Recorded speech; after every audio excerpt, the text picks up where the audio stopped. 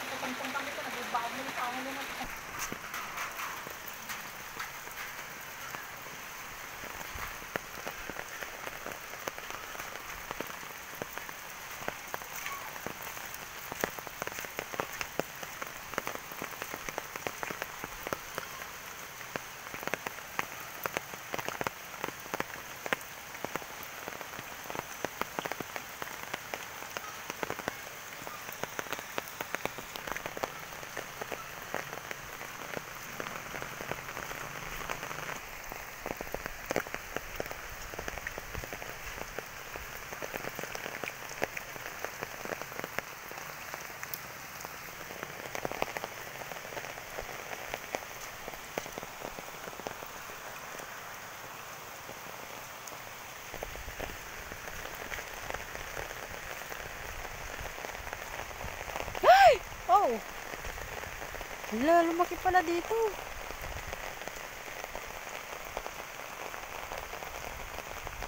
Abot din.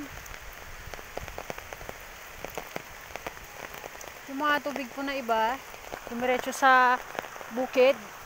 Dati ilog po yan na maliit.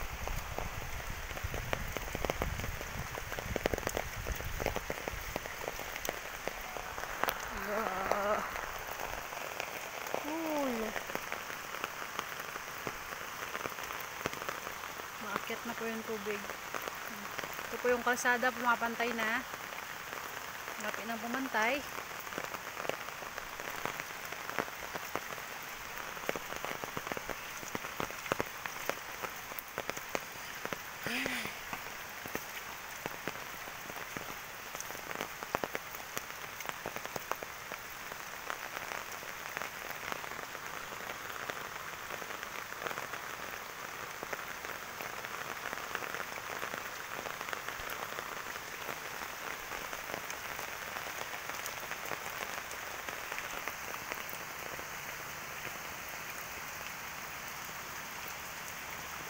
Lapit na talaga pumantay.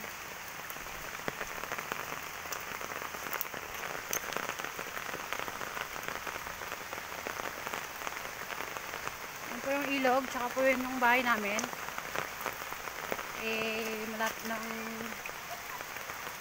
abutin ng tubig ilog. Yan. Po yung ilog namin, sobrang liit mo dati yan. Ngayon, pumantay na po siya sa bukid. At sa likod ng bahay, yan po yung bahay namin. Likod lang. Isang metro lang pong layo. Yan po ay tubig.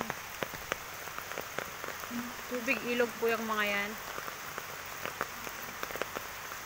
Dalawang ilog po kasi yan. Doon yung il- ilog banda doon sa dulo. Saka ilog dito.